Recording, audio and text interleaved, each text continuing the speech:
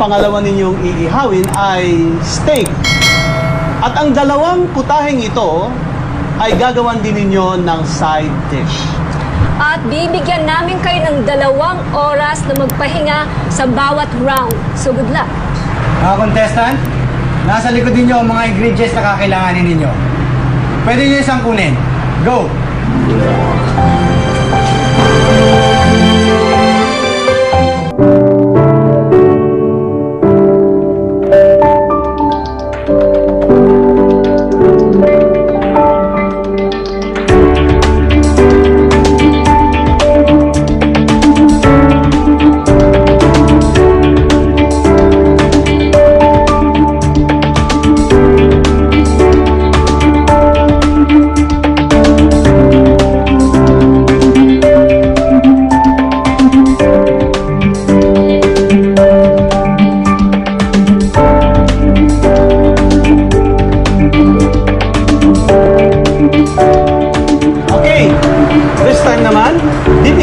Kayo ng dalawang oras to do your grilled chicken.